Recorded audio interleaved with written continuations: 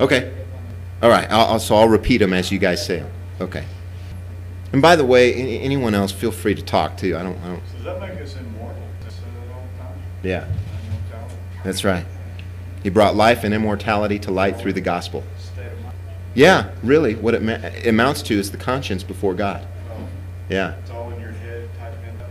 It's crazy. No, we're not crazy. See, and it's, you know what? You may think this sounds strange, but it's a great inroad to people who are fully caught up in the new age thing, but it's a self-centered new age state of the mind. You follow? It's for them it's a state of the mind isolated and separated from God. Whereas what we're dealing with is the state of the mind, heart, thoughts, right? It's the state of the mind before God. Thank God. See, people say, oh, you know, Ward, you mu- you're a Gnostic. No, I'm not. The Westminster Confession of Faith says this we need to be raised up in the self same body. That's Gnosticism because the Gnostics believed that the flesh was evil. I don't believe that this is evil. This is not evil. This right here is evil. He says, not what's outside that defiles a man, it's what's inside. For out of the heart proceed all these things. right? Gee, how appropriate. So, anyway, yeah. Okay. So, um, how do we make progress both in our understanding of our position before God and how does that work it out in the life application? Um, the, the first passage that I think of is Ephesians chapter, uh, chapter 1, where this is what Paul says. He says, I do not cease to give thanks for you, making mention of you in my prayers, that the God of our Lord Jesus Christ, the Father of glory, may give unto you the spirit of wisdom and revelation in the knowledge of him, the eyes of your understanding being enlightened, that you may know what is the hope of his calling, and what the riches and the glory of his inheritance in the saints, and what is the exceeding greatness of his power toward us who believe, according to the working of his mighty power. Well, his first thing was, I'm praying that your eyes would understand what you have in Christ. And then, once that takes place and you meditate and you are consciously thinking about the glory of God, the beauty of his body, the beauty of the new covenant creation, then what happens is if I look at you with that perspective as holy and blameless in his sight, what's that going to generate and create in me toward you? Hatred? I doubt it. No, on the contrary, if I'm not thinking about you that way, and I'm not thinking about the glory of God and the beauty of the creation of the body of Christ, and how it's a new creation and old things have passed away, behold, all things have become new. If I don't look at you as totally having become new in Him, obviously I'm going to treat you differently. Does that make sense? How we treat each other depends upon how we view each other. I mean, that's the whole reason Carrie has stayed with me. That's the whole reason. She views me as holy in Christ. If she viewed me any other way, you know, we'd be fighting for the kids or something, you know, the whole same thing. But how are we called to be different in this world? How are we called to be different? What does the world see? The world is used to the moral majority or the exact antithesis of that, right? They're not used to Paul's and Barnabas is coming out and saying, Don't do that. We are men of like passions as you are. I wish Falwell would come on TV and says, Man, I have like passions just like every homosexual out there. Say, what? What was Paul saying? We are men of like lusts. That's the stereotype, right? Come on. Stop putting on faces. Lust is the issue, is it not? Lust is the issue, men. Right? That's the problem. Paul didn't mince words.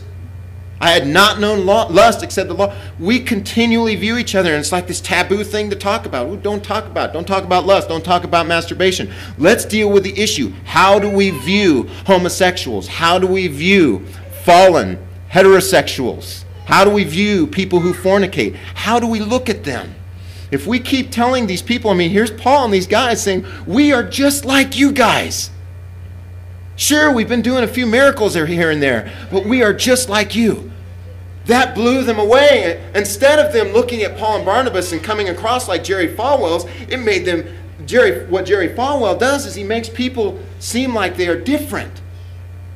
Like he's not like them. Well, they don't want to be like that. They don't want what we have. But if they see no humility, right?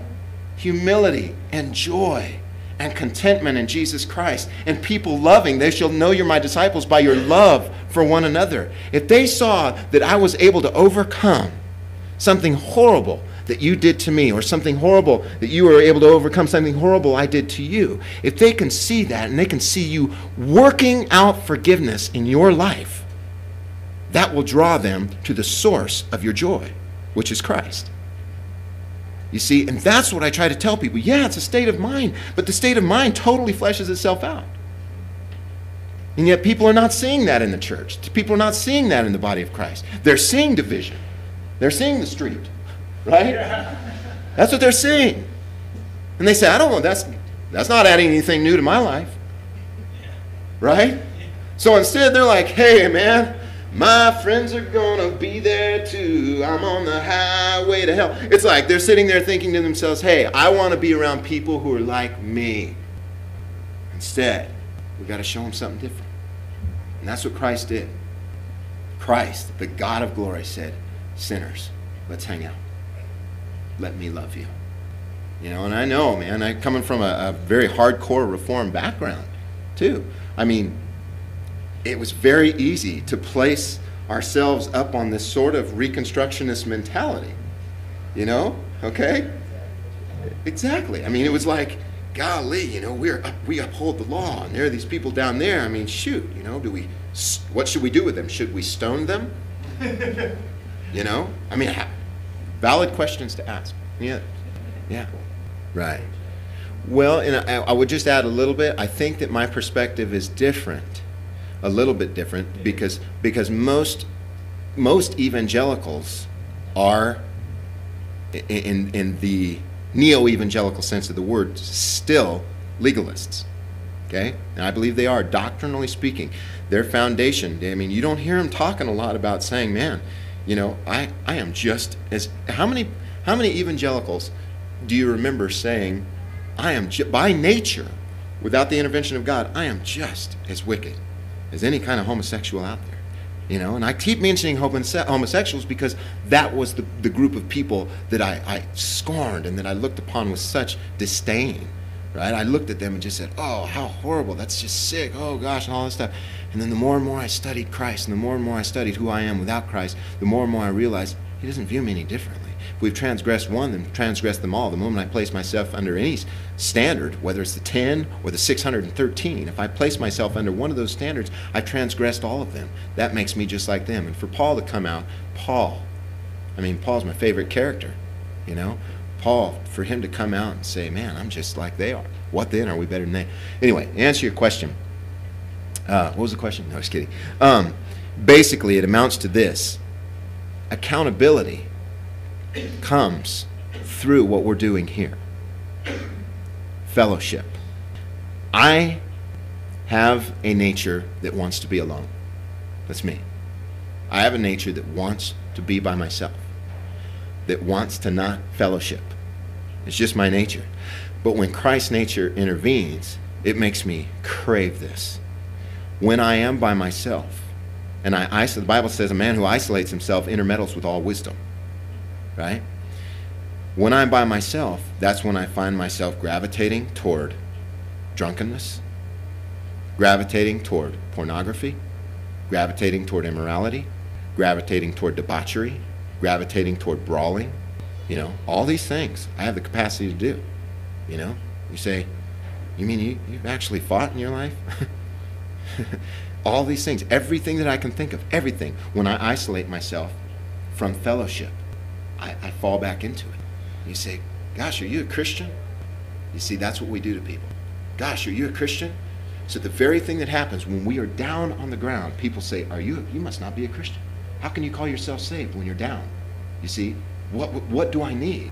I need someone. I need the Jacks. I need the Tims. You know, I need the Steves. I need them to come up to me and say, You're struggling. Man, you know what? I know what you're going through.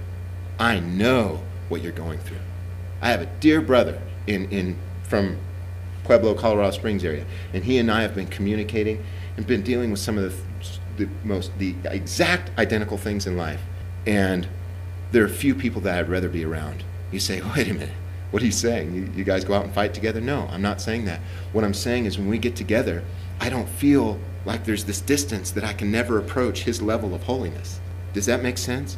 And so when I'm around you guys, I'm around love. I'm around people who who go, you know they're my cheerleaders. Go, Ward. Go, you know? Don't beat up that guy who flipped you off. Go. You know what I mean? That those that's the type of people I want to be around. Love him. Love him. And it's not this weird kind of cheeseball love, you know. It's this type of love that is like, how do I love him? I show him love and then I show him the glory of Christ. That's what I'm doing by showing him love. I'm showing Christ working through me. Man, I'm, I used to be the most legalistic, reformed guy. I was talking with Jack about it, man, and and God is, and don't get me wrong, I still hold to many of the reformed tenets of the Christian faith. They're beautiful. They're gorgeous, you know? Sovereignty of God and salvation, salvation solely by grace through faith, you know, all that stuff. Faith being the gift of God. But anyway, I'm I'm going on and on. That's that's how I it's fellowship, it's communion. That's what the Bible is all about. Forsake not the assembling of yourselves together. Forsake it not. Pre AD 70, post AD 70. It's, it's all about each other because we are Christ here on this earth. We are Christ. We are the light. You are a city set up on a hill. Let your light so shine before men that they may glorify your Father who's in heaven. Right. Right, right. I believe it's definitely referring to. No, I, I don't. I, I would say that it's a it's a a past tense issue for us today. That that being made holy is talking about. See, if you read Second Corinthians 3, which I know you have, obviously you've studied it, when he talks about this, as they turn to the Lord, the veil is taken away. There was a body that was being changed. Individuals, individuals in their consciences, they were seeing the fullness, the complete fullness that would be brought about in AD 70, okay, by the presence of God the destruction of the temple. But as one turned to the Lord, that, that's why it is so crucial that we understand their connectivity in that body. That as one turned to the Lord, the veil was being taken away. And that first century body of, and I, I got to say, it's talking about Jewish believers. It's primarily referring to Jewish believers that there was a body. Even so, now at the present time, there is a remnant according to the election of grace right? That whole thing is dealing with the first century body of elect national Israelites. Same with 2 Peter chapter 3. 2 Peter chapter 3 God is not willing that any should perish, but that all should come to repentance. He's dealing with the fact that there was a remnant that was coming out, just like there was a remnant in the, in the time of Elijah, right? There was a remnant. And so, as they were believing on Jesus Christ, the veil was being taken away. And until the last of that remnant came in to the body into faith, the holiness, the complete holiness of the body was not yet uh, accomplished. So, but it was gradually, they were being made holy. Okay, I, I hope that kind of explains it. It's it, Max King, I don't know if you're familiar with him, but Max King has, has a very wonderful diagram that shows basically, it, it shows a, a covenantal man, which represented Israel under the law and so the cross, here's the point of the cross. Here's the old covenant in full force. And then the cross happens. Well, here's this body of believers, you know, this body of people, or body, elect body of people. And as they believe, the old covenant is passing away and the new covenant is growing into fullness. And this growing into fullness is the new image. The growing into, you know, being deceased is the old image. And finally, at the destruction of the temple, which is huge in Hebrews, you cannot disassociate redemption from the destruction of the temple. You cannot do it. And people say, there's no, what significance was there in the destruction of the temple? Holy cow, that was the destruction of the place where God did commune under the old covenant with one person. But see, under the old covenant, Hebrews chapter 16, verse 17, no one was allowed into that place. The priests, plural, were not even allowed into that place. And only one guy, the high priest, one time a year. Well, now the vast difference is Christ, the high priest had to come out, remember? And so finally, in the New Testament, what he does is he destroys the temple, comes out of that, and brings the people back into the holiness of God, the presence of God, the holiest of all. So, yeah, there was definitely a change taking place that, it, that doesn't apply to us today. We get to go through it instantaneously. Call it a rapture, call it whatever you want, you know. we are brought in. Let us come therefore boldly to the throne of grace. So, how long is our question and answer time? I didn't even. Eleven thirty. Okay, eleven- We're, we're gonna take up those. uh, Oh, okay. Well, the first thing to do is come to them on their level and invite them out for a beer. okay, that's the car.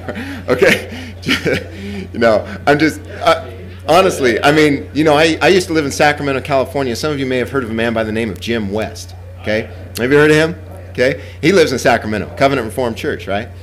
And I've met the guy. Doesn't really like me too much because he doesn't like preterists. You know, he thinks we're going to hell in a handbasket. But one of the things you find about a lot of these guys is that they have they take a lot of neat liberty issues that are that are awesome that Baptists might not take, right? Uh, for instance, my mom was a Baptist for a long time. Then I convinced her that a glass of Merlot is not sinful. okay, and you're probably thinking, "Oh my gosh, Ward drinks." Yes, I, I drink wine. Right? so I just look at it as a type of the new wine, you know, and so I drink a lot of it. No, just kidding. But anyway, so here Takes a lot. he makes a lot. Good. All right, let's just tell our secrets, okay? so yeah. We don't have sin oh man. Gosh, I live 10 minutes from Big Water, which is a polygamous community. So anyway, no, just kidding. anyway, um, here's the thing. Um, I believe, see, they, they love the 10. Postmillennial Reconstructionists love more than that.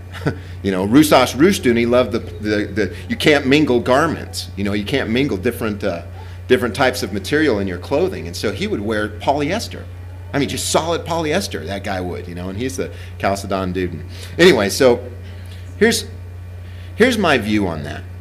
This is my view, view. And, and, and if I take it to, if I, if I take these debates to an extreme with people, I think sometimes they can end up in being dotings about the law, strivings about the law, and so forth.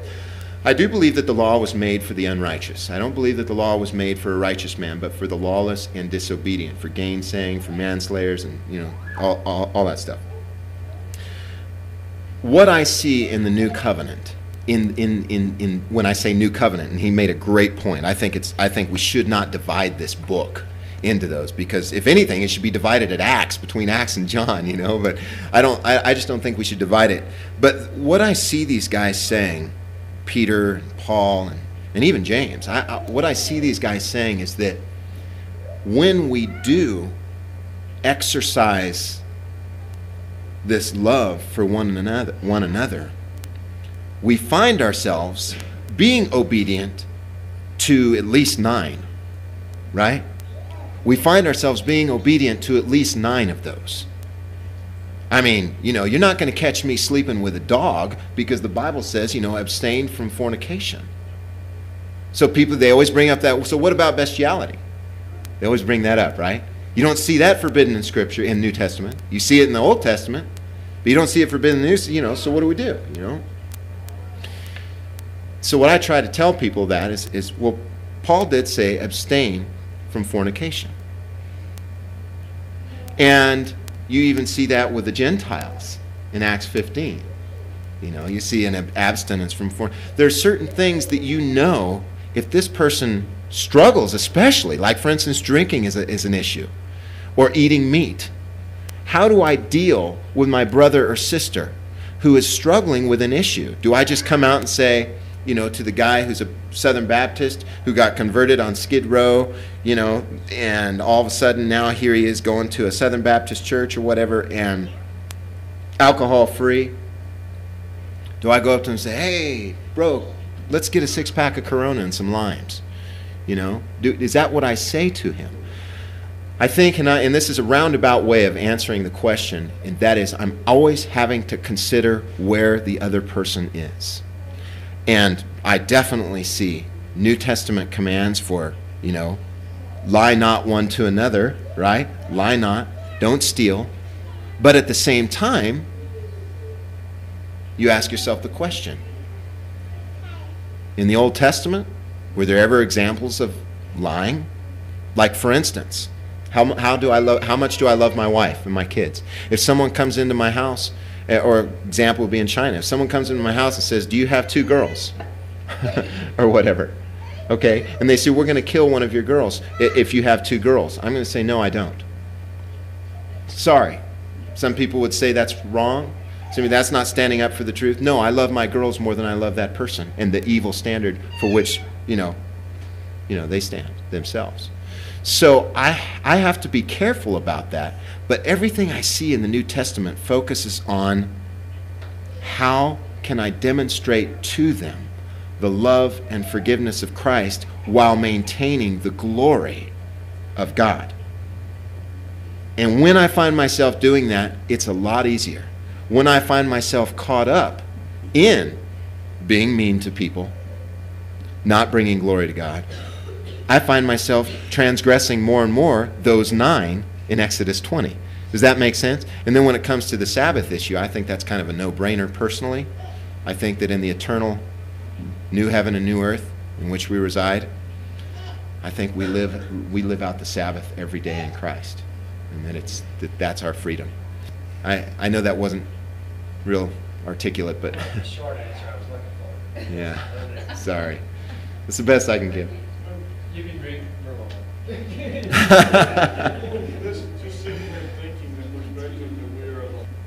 Good point, right?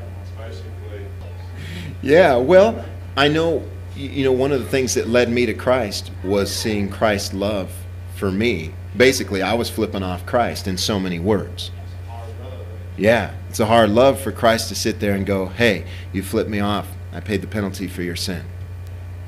It's like, whoa. Return good for evil. You know, Romans 14 is awesome. Romans 14 is awesome because it, in that latter, those latter chapters of Romans, I mean, here the full thing is so doctrinaire, you know, and then you get to the end, Romans 14 and 15 and 16 even, he just talks so much about loving one another, and then he, and then he finishes up this one, eight, return good for evil. Return good for evil. I mean, does not Christ epitomize that saying? And I, I, I would strongly say that if we all were practicing that on a regular basis toward those inside and outside, we, I think we would start seeing some real neat things. That's hard to do. Thanks. You guys are wonderful.